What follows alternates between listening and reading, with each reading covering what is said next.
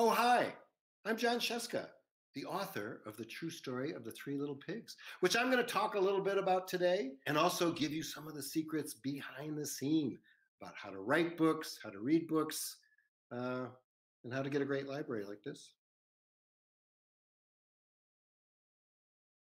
You know, I think my favorite part of creating a picture book um, is when it's done.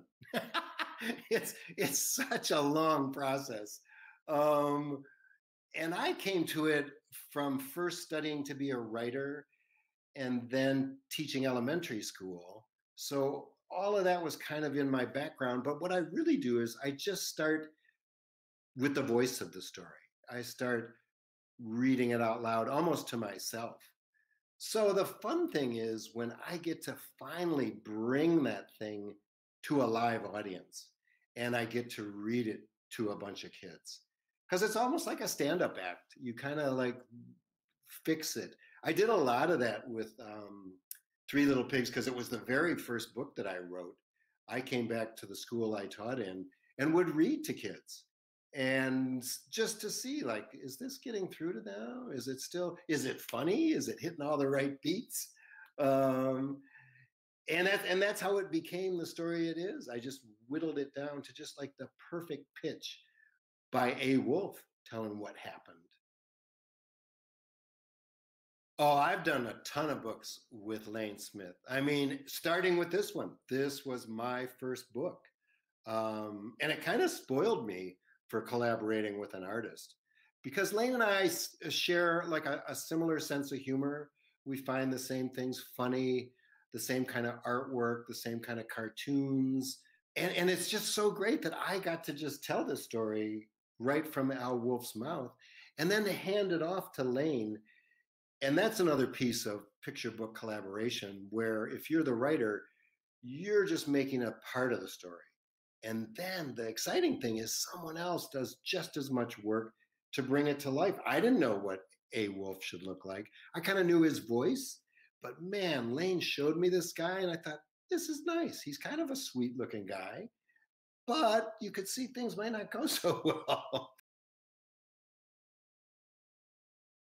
I think the defining job of my career was being an elementary school teacher. Starting with a school in New York City. It was called the Day School then. It's now the Trevor Day School. My dad was a principal. Um, I used to be in first grade. I was a little bit clueless back then, but I went into first grade, and that's where I found my audience. They were just much shorter than I ever thought, but every bit as crazy and funny. And I started telling them the same kind of stories I was writing for like adults.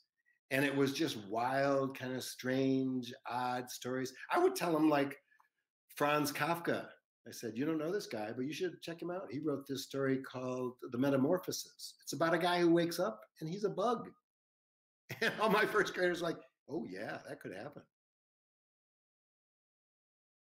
I started Guys Read as a literacy initiative just to reach more boys and get them reading. Uh, came out of my experience as being one of six boys in a family of six boys some of us were readers, some of us weren't. Um, and then teaching school for 10 years. I taught from first to eighth grade. And I just noticed like a lot of my boys weren't really crazy about reading.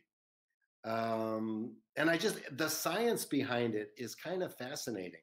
It's that boys develop more slowly, then they're a little less likely to do something they don't want to do. It's a lot of social pressure.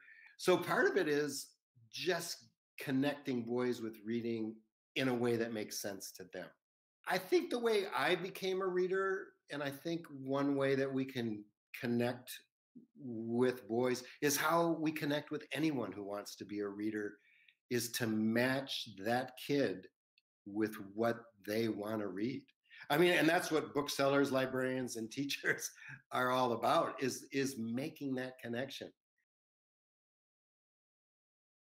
I think the one thing I always want kids to take away from when they read my books, I love when a kid comes up and said, "Oh, I can do that."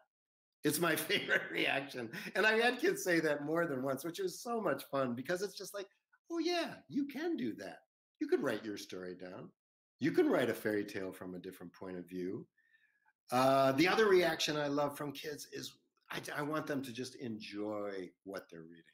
Like to say, that was just crazy. That was so much fun.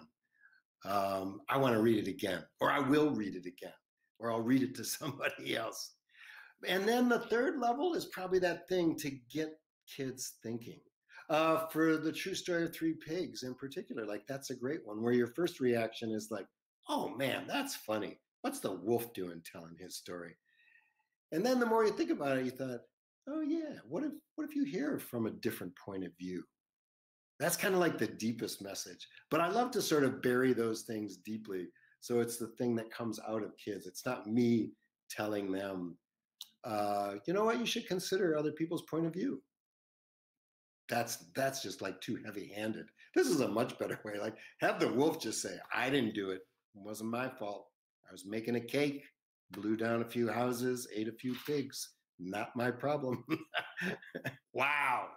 So that's more than anyone needs to know about Jon Scieszka. But now that you got it, you're in charge. Get out there, do some reading, do some writing. Make a library like this.